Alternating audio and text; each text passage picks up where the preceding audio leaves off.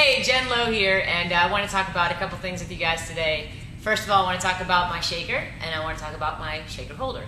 This is an SH7 by Meinl, it's a fiberglass shaker, and this is the MCSH by Meinl, which is a shaker holder. I actually designed this little bad boy.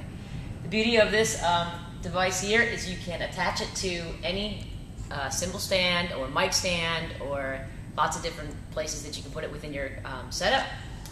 You can use it while you're playing drum set, either throw it over the floor tom and um, have your shaker right there where you can play it and then throw it back on the holder and come back to your stick position. You can put it anywhere in your percussion setup and it's a great uh, piece to add to your setup. Now, the next thing we're going to talk about is my SH7, which is my fiberglass shaker.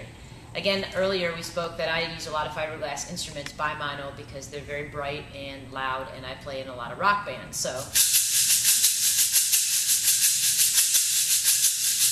I get a really nice crispy sound with this shaker. Let's talk for a half a second about shaker technique. All right, the best way to come up with a shaker technique in a fairly short amount of time is to take the shaker out of your hand and just hold your uh, hand in sort of a C position upside down, like an upside down C, C, C. And just create this really smooth motion using lots of wrist, okay? And you're, what you're gonna eventually do is you're gonna take the beads that are inside the shaker and throw them to the opposite side of the uh, case.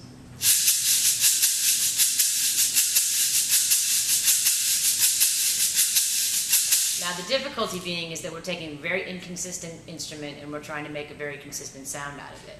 And so what we want to concentrate on is those beads being thrown to the inside of the shell of the case. If we don't want the accents and we want to smooth it out,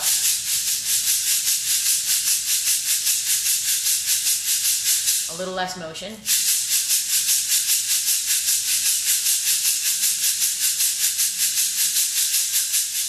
With accents.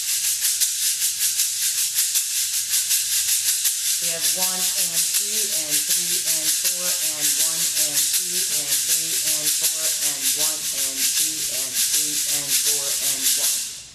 So that pretty much wraps it up. This again is an SH7 by Meinl. This is the MC SH by Meinl, which is the shaker holder, and both pieces rock. See you on the flip side.